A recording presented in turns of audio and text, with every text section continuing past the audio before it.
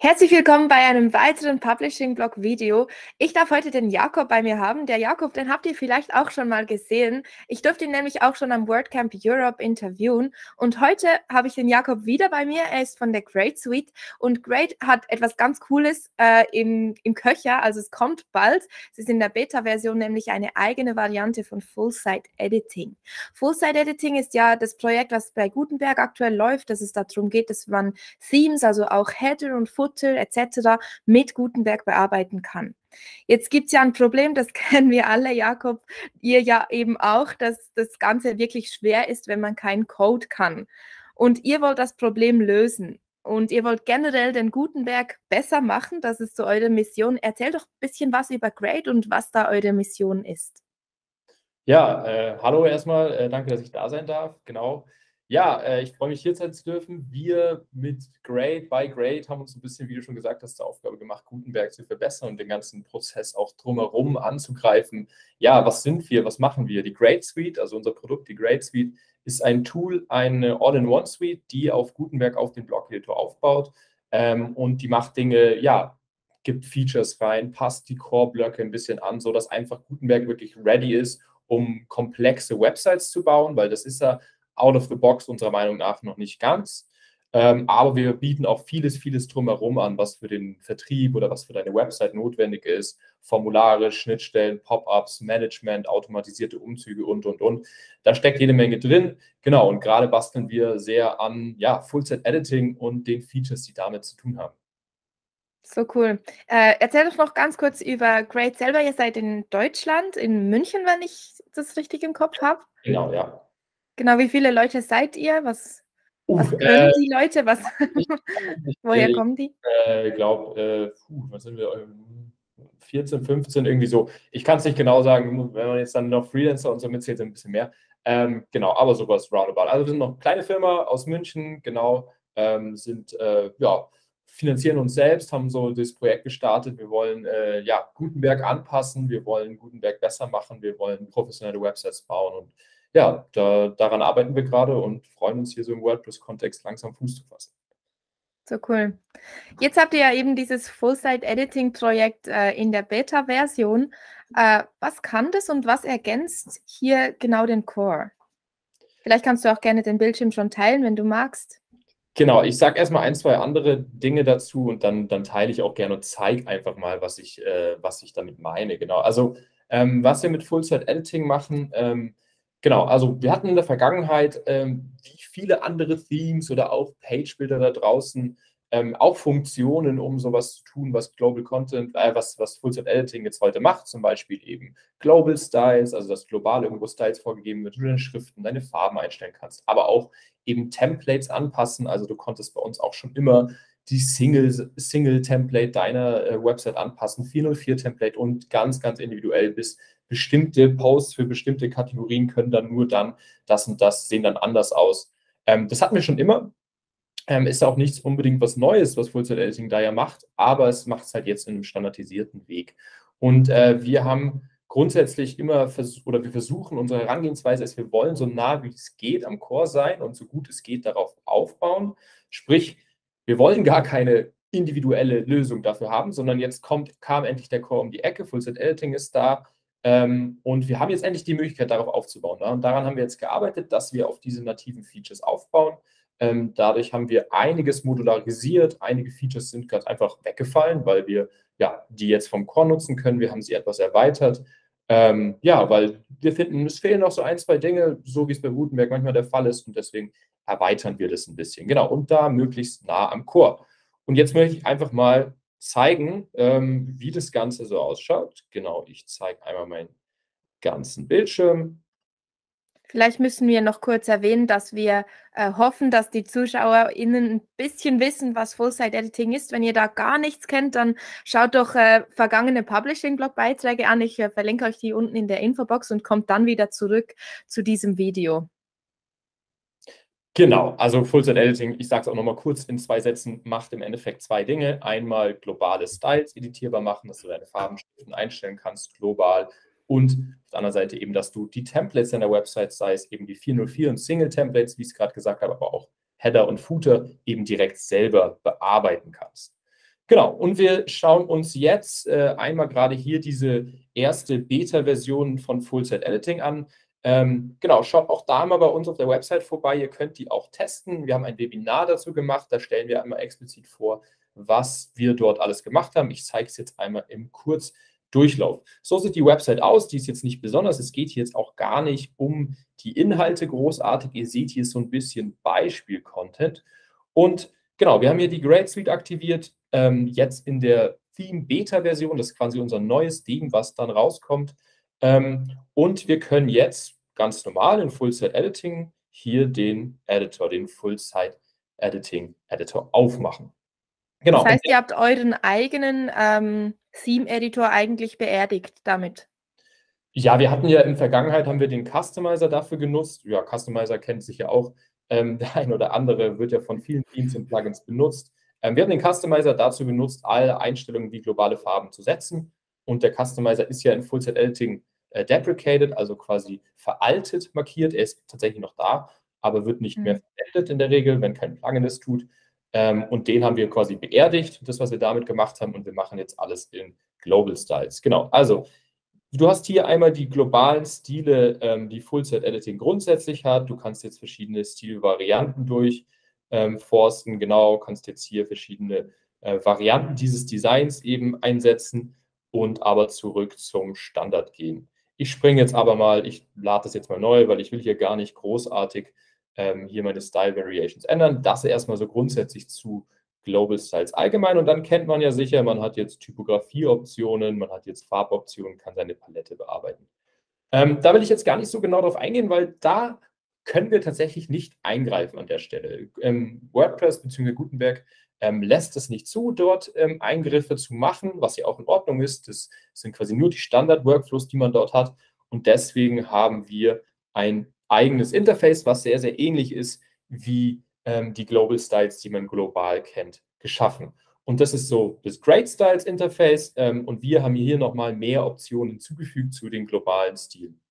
Ähm, zuallererst mal Fonts. Ähm, bei Fonts ist es ja so, du kannst ja in äh, Global Styles nur die Schriften, also Fonts, Entschuldigung, Schriften, nur die Schriften auswählen, die Global Styles selber, die der Theme-Autor selber zur Verfügung stellt. Und wir haben gesagt, naja, Custom Fonts, Google Fonts, such dir doch selber aus, was für Schriftarten du haben möchtest und stell die hier entsprechend ein. Wir haben drei quasi Varianten. Viel mehr als drei Schriftarten solltest du auch in deiner Website nicht benutzen, drei Schriftfamilien. Die kannst du hier einstellen. Dann Font Sizes. Hier kannst du die Preset Sizes, die du später dann nur noch auswählen kannst, selber einstellen. Ähm, genau, eben Huge, Large, Medium und so weiter. Und da haben wir ein kleines Clamp Control eingebaut, mit dem du sehr, sehr einfach deine Schriftgrößen responsiv machen kannst. Du kannst sagen, was soll minimal der Wert meiner Schriftgröße sein, was soll der präferierte Wert meiner Schriftgröße sein und der maximale Wert. Ich will jetzt hier einfach mal kurz durchgucken. Ähm, genau, dann geht es zu Headlines. Auch Headlines kannst du individuell pro ähm, Größe einstellen. Das heißt, du kannst wirklich durchgehen und sagen, okay, wie groß soll meine Headline 1 sein? Und hier sieht man eben, wir haben jetzt hier die Presets, die wir gerade quasi eingestellt haben und können jetzt die auswählen oder sagen, okay, wir wählen es jetzt individuell und setzen die H1 zum Beispiel auf 100 Pixel. Genau. Und hier so einfach kann ich meine Schriften verstellen, kann dann sagen, okay, wie soll das aussehen hier? Hier habe ich jetzt nur den äh, Bold-Schriftschnitt geladen, deswegen hat die Font-Weight keine Auswirkung. Und so kann ich für jede Headline hier durchgehen und die individuell einstellen. Genau, und wichtig war uns auch, ähm, Schaltflächen wie Buttons, Formularfelder, aber auch Links anpassbar zu machen. Ähm, Global Styles grundsätzlich, ich will es kurz zeigen, ähm, ermöglicht es ja, Buttons anzupassen. Und zwar kannst du hier Farben wählen. Du kannst sagen, was ist die Textfarbe und die Hintergrundfarbe meines Buttons. Das ist uns bei weitem nicht genug, weil zum Button gehört vielleicht ein Gradient hinten rein, da gehört eine Border drumherum, aber es gehören vor allem auch Hover-Effekte rein. Und es gehören auch verschiedene Buttontypen unserer Meinung nach in Frage. Ähm, warum? Weil man auf einer Website immer wieder ja, zwischen Buttons wechselt. Man hat meistens einen primären, sekundären, vielleicht eben noch einen alternativen Button. Und das haben wir eben berücksichtigt und gesagt, das wollen wir erweitern. Ähm, dementsprechend kannst du diese verschiedenen Buttontypen selber einstellen und immer eben den Standardstil sagen. Hier zum Beispiel lila, gut, will ich jetzt ändern. Ich will den Button jetzt rot haben mache jetzt vielleicht noch meine Border rot. Genau, und so passe ich meine Buttons an. Sage dann, okay, ich will vielleicht meinen Hover-Stil auch noch anpassen. Wie sieht der jetzt aus? Genau, der ist gelb. Ich will jetzt das on Hover, der vielleicht blau ist. Genau, stelle das hier mal auf blau ein und jetzt sieht man, so hat sich mein primärer Button geändert. Und das gleiche kann ich für jeden Button-Typen eben tun. Ich kann auch eben, wie ihr jetzt seht, der Habe-Effekt ist jetzt nicht besonders gerade, aber ich habe jetzt hier einfach mal einen Farbverlauf als Hintergrund gemacht und kann jetzt hier auch einen völlig anderen Farbverlauf aufbauen und kann so meine Buttons noch individueller gestalten. Und das ist etwas, wo Gutenberg einfach noch nicht so weit ist, beziehungsweise Full-Set-Editing unserer Meinung nach, ähm, gerade in so Hover-Styles, in responsiven Styles, in unterschiedlichen Presets. Also wir sagen auch, okay, Größen sind auch wichtig bei Buttons. Ich will mal Small, Large, Large Button ähm, und die kann ich hier jeweils schon vordefinieren, wie die denn entsprechend aussehen. Und das gleiche eben auch für Links, also auch hier wieder primäre, sekundäre Links, aber auch für Formularfelder, auch hier wieder primär, sekundär. Ihr merkt, wir haben verschiedenste Typen, die man später nur noch referenziert und dann sagt, okay, wie stelle ich denn meinen Button ein? Wie sieht es aus? Ich gehe hier rein in meinen Button und sage ganz einfach, ja, primär, sekundär, alternativ. Genau. Und so wähle ich meinen Button-Typ aus. Kann auch Link-Typen hier setzen. Und das ist einfach ein ähm, ja, Bereich, wo wir zeigen wollen, wie wir Global Styles denken und wie wir es auch noch sinnvoll erweitern. Ähm, ein, ein, letztes Thema, was ich hier noch anschneiden will, ist das Grid. Du kannst deine Breakpoints deines Grids in deiner Website selber nutzen, selber einstellen, was bisher eben Theme-Autoren nur machen konnten.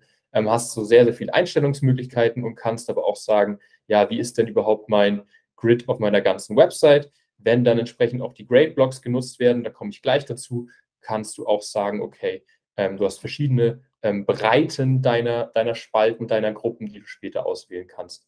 Genau, kannst dir auch die Gaps entsprechend einstellen. Ähm, ihr merkt wahrscheinlich, wenn ich das jetzt hier verstelle, genau, dann passt sich das entsprechend an. Ähm, ihr seht jetzt hier, diese Breite hat sich verändert. Ich gebe es jetzt einfach mal ein und mache ein EM draus. Seht ihr überall auf dieser Seite, wird es schon entsprechend referenziert. Genau, und das einfach mal so als Beispiel, wie wir das angepasst haben. Und um jetzt den Bogen zu spannen, ähm, Stichwort, wir wollen immer auf den Core aufbauen. Wie haben wir das Ganze gemacht? Natürlich, wir kommen nicht in dieses Global Styles Interface rein. Dort können wir einfach programmierseitig nicht eingreifen, ohne sehr, sehr hacky zu sein. Das wollen wir aber nicht. Ähm, sprich, wir mussten unser eigenes kleines Interface dafür bauen, was sehr, sehr ähnlich ist wie das Global Styles Interface. Es gibt auch noch ein paar Anpassungssachen, ähm, die wir einfach da noch machen müssen. Aber was machen wir damit im Endeffekt? Wie wird das, das gespeichert und wie werden diese Stile angewendet? Diese Stile ähm, werden im Hintergrund ganz normal gespeichert, genauso wie die Global Styles, die, ähm, die eben WordPress selber bearbeitet, genau gleich gespeichert. Im Hintergrund wird einfach ein Datenstrang gespeichert, der alle Anpassungen hinterlegt und wir überschreiben diesen Datenstrang bzw. passen ihn an. Das heißt, was bedeutet das, was ist das Resultat daraus? Das Resultat ist, im Frontend müssen wir keinerlei Code registrieren. Klar, ganz normal, wie jedes andere Theme, globales Stylesheet, ähm, vielleicht ein paar Skripte, aber im Frontend selber müssen diese Styles nicht besonders gepasst werden, besonders verarbeitet werden. Und das nimmt eben all diese Vorteile mit, die Fullset Editing hat, hinsichtlich Performance, hinsichtlich PageSpeed. Wir sind nativ auf diesen Funktionen aufgebaut und es fällt uns dann auch sehr, sehr leicht, die Anpassung oder die Erweiterung, die Fullset Editing dann Schritt für Schritt macht, dann zu übernehmen und unsere in der Theme.json eben entsprechend so anzupassen. Genau, also nur nochmal dazu, um den Bogen gespannt zu haben wie sieht dieses Global Styles Interface aus. Genau, ich hoffe, das zeigt mal so einen groben Überblick, was da alles drin ist. Ähm, ich wollte jetzt nicht zu sehr ins Detail gehen. Ja, genau, so sieht es im Moment aus, was die Beta-Version ist. Ihr könnt die gerne testen, geht auch auf unsere Website, da ist auch das Webinar entsprechend verlinkt und da könnt ihr euch das anschauen. Cool, das werden sicher einige machen. Du hast jetzt das Theme JSON erwähnt, das wissen vielleicht auch nicht alle. Bisher kann man diese Einstellungen, die ihr hier als Interface anbietet, eben nur im Code machen, eben in diesem Theme JSON-File. Dazu haben wir auch mal ein Video gemacht. Ich werde es dann auch in die Infobox packen, damit die Leute auch verstehen, wie viel einfacher das tatsächlich ist über euer Theme. Ähm, plant ihr denn das Ganze auch als Plugin zu machen oder muss man dann immer das Great Theme verwenden?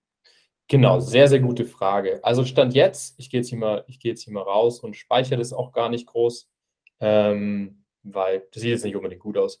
Genau, also Stand jetzt ähm, ist diese Beta-Version erstmal das reine Theme. Das Theme kommt eben mit diesen Global Styles-Anpassungen mit. Und ähm, ich habe ja eingangs gesagt, die Great Suite und vor allem wer sie auch schon kennt, weiß ja, da ist sehr, sehr viel mehr drin in der Suite als einfach nur ein kleines Theme, was ein bisschen Global Styles macht. Das ist jetzt zwar ganz hübsch, aber eigentlich sind unsere Funktionen viel, viel mehr. Und zwar gibt es dazu ähm, ja, eine angepasste Version quasi, die dann auch entsprechend gelauncht wird, ist nämlich das Great Plugin. Wenn ich das jetzt mal hier aktiviere, dann sieht man erst noch nicht viel anderes. Und dieses Plugin kommt eben mit dem Theme zusammen. Man kann, man es nutzen, muss es aber nicht. Genauso kann man das Theme nutzen, muss es aber nicht. Und das erweitert ähm, ja, deine Website um all die anderen Funktionen, die dir Grade quasi bietet. Also dieses Theme gibt die Global Styles und grundsätzlich das, das Styling der Website mit. Und dieses Plugin gibt dann die ganzen Features mit, die eben in der Grade Suite sonst noch drin sind, wie zum Beispiel das Hub, die Management-Konsole im, im Grade, mit dem du automatisch deine Websites umziehen kannst mit einem Klick. Mit Post-Types, was jetzt gerade noch in Entwicklung ist, sind Sachen wie die Blog-Erweiterungen, Formulare und Dynamic Templates, aber auch Features wie Pop-ups, der Multi-Site-Connector, den du über Seiten hinweg ähm, ja, umziehen kannst, Global Content, Template Library und, und, und. Hier ist noch einiges mehr. Das ist gerade so der aktuelle Zustand, obwohl noch nicht ganz der aktuelle, weil hier sind schon, hat sich schon einiges getan. Ähm, genau, und es wird jetzt eine Kombination aus Plugin und Theme sein, wie es auch schon vorher war. Das Coole ist jetzt, dadurch, dass wir auf Full-Set-Editing nativ aufbauen, wird äh, es unabhängig sein. Das heißt, du kannst jedes Theme da draußen benutzen mit den Features, die dir Grade sonst so gibt, mit den Management-Features, mit den Post-Types, den Formularen und, und, und. All das wird möglich sein mit Full-Set-Editing. Da einfach noch ein bisschen Geduld. Genau. Und wenn das gelauncht ist, dann könnt ihr auch andere Themes damit verwenden. Ihr könnt das Plugin so anpassen, wie ihr wollt, weil ihr könnt jetzt hier selber eure Features an- und abschalten. Wenn ihr sie abschaltet, wird nichts von Code geladen. Ähm, es geht nicht auf eure Performance oder sonst was. Die meisten Features sind ja vor allem auch backend-seitig aktiv. Ähm, genau, hier könnt ihr die einfach an- und abschalten, die Features, die ihr in der Grade Suite selber braucht und so eure eigene Grade Suite quasi zusammenbauen. Cool. Wie viel Geduld brauchen wir denn dafür noch? Also gibt es schon einen Zeitplan dafür? Es ist jetzt alles noch in der Beta-Version? Genau, also wir sammeln gerade aktuell Feedback ähm, von unseren Nutzern ein, ähm, haben da schon einiges bekommen. Ähm, das setzen wir dann um.